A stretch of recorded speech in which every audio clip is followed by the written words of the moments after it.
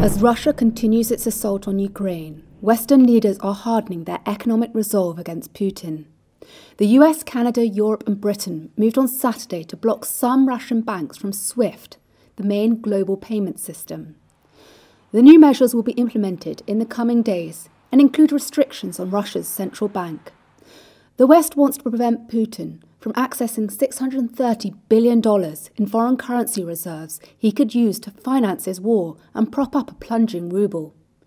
European Commission President Ursula von der Leyen said the measures prevent Russia from using its war chest. We are resolved to continue imposing massive costs on Russia. Costs that will further isolate Russia from the international financial system and our economies.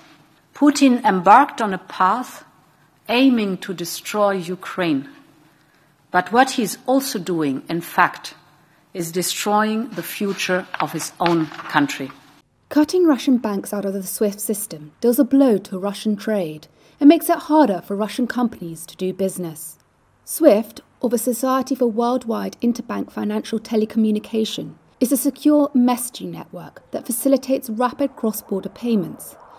It has become the principal mechanism for financing international trade. Each year, trillions of dollars are transferred using the system.